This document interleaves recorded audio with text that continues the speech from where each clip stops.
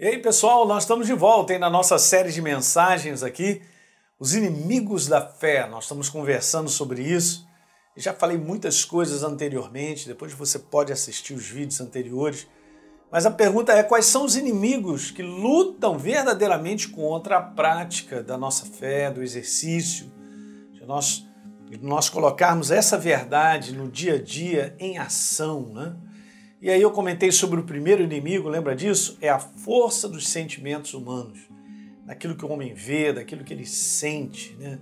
daquilo que ele enxerga, daquilo que ele ouve, daquilo que está acontecendo ao seu redor, gera uma opção de sentimentos. E a gente conversou, perdão, a gente conversou amplamente sobre isso.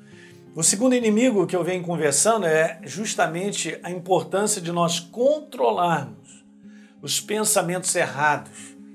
Eu comentei sobre aquela questão dos passarinhos né?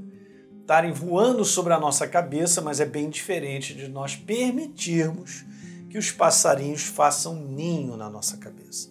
Os pensamentos é a mesma coisa, não tem como você evitar de pensar algo, mas é muito importante você verificar, porque se esse pensamento a respeito de pessoas, ou de situações, ou da sua vida, ou de tudo que envolve você, esse pensamento não está em linha com a palavra, você não pode deixar ele ficar aí.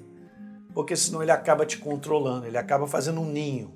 E aí eu disse algumas coisas que são preciosas. Precisamos aprender a sustentar o pensamento de Deus em nossa mente de maneira contínua, justamente para não permitir que os pensamentos errados governem ou se instalem. Então esse é um comum inimigo da fé, o pensamento natural que conclui pela razão tudo que se vê, ouve ou sente. Que baita de inimigo é esse? E todo dia eu tô aqui com alguma coisa, é lógico, mas só podia dar nisso e tal, mas só de um, de um conteúdo humano. Então eu quero te falar que quando um pensamento, lembra que eu falei isso no último vídeo, daqui eu continuo, quando um pensamento natural ele bloqueia a entrada do pensamento de Deus, na nossa vida ele passa a ser considerado um pensamento errado. E eu não, não posso cair nessa cilada. Na cilada de estar pensando a respeito de alguém, do meu marido, da minha esposa, dos filhos, pessoas com quem eu trabalho e tantas coisas, e estar ali alimentando coisas que tal, porque tal, meu Deus, aquilo está até me prejudicando, trazendo sentimentos ruins. E eu quero te falar isso, ó, se quisermos ver o propósito de Deus se cumprir na nossa vida, é preciso mudar de pensamento. Lembra que eu comentei sobre você sobre conversão? Conversão nada mais é do que a mudança de pensamento em relação a alguma pessoa, em relação a algo, em relação a Deus é a mesma coisa. Um dia eu me converti, eu não conhecia Deus, como eu disse para você. Então, nós somos, gente, vamos lá, guarda isso no teu coração agora. Nós somos aquilo que pensamos ser. Então eu sou produto de um pensamento. Legal, o meu pensamento está errado? A respeito de mim mesmo e das pessoas, eu vou te falar, eu vou viver de maneira errada.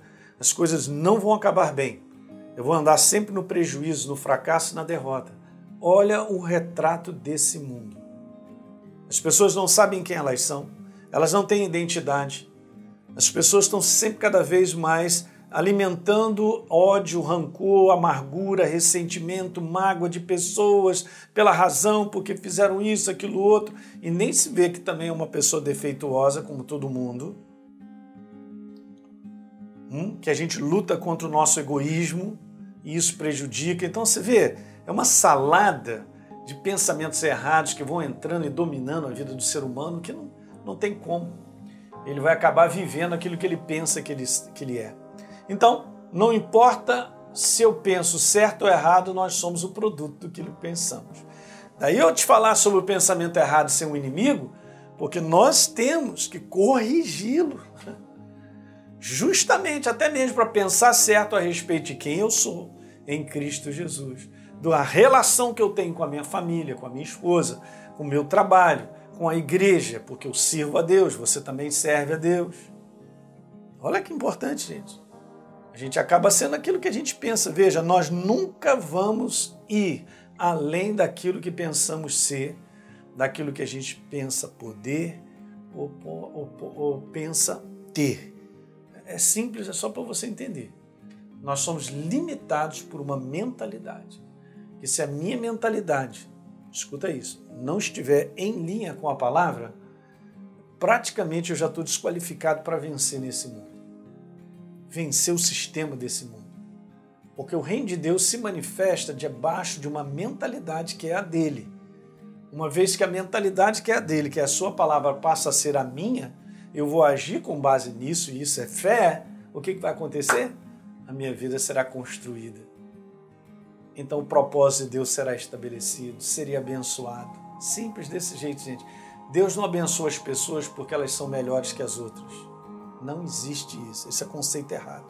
Deus não abençoa o pastor porque ele é pastor há 30 anos e você é uma ovelha de um ano. Não existe isso. Deus abençoa a humanidade porque o propósito dele é abençoar debaixo do seu reino, da sua palavra, da sua verdade. E se o seu reino, que é a sua palavra, a sua verdade, fizer parte de quem você é, você já está embutido no combo da benção. Aleluia, eu fico animado em te dizer isso. É por isso que isso é um inimigo da fé. Ele está pensando errado. Você sabia? Eu vou terminar dizendo isso. Olha, tem muita gente hoje que está afastada de Deus porque começou a pensar errado a respeito da igreja, do seu líder. De repente o líder pode até ter vacilado com essa pessoa, mas não foi ensinado para ela colocar os olhos em Jesus como autor e consumador da nossa fé.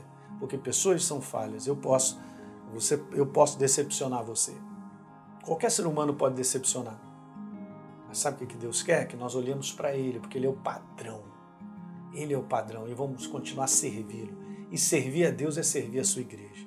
Hoje aumenta o número de pessoas que não estão mais na igreja, estão saindo, dizem que tem relacionamento com Deus e tal, mas porque tem problemas com pessoas, saem, abandonam a igreja. Tudo pensamento errado que o inimigo só vai cozinhando. Qual o resultado final disso? Nada dá certo. Uma jornada não é completa, entram para o fracasso, para a derrota, nada funciona, porque é convencido pelos pensamentos errados. Legal? Dá um like aí no nosso programa, se inscreve aí no nosso canal, por favor, se você não se inscreveu ainda. E deixa um comentário que é importante para todos nós. E aí embaixo, na descrição, tem um link aí para você acessar e você vai lá fazer um download desse nosso e-book aí sobre o ABC da fé. Legal? A gente se vê.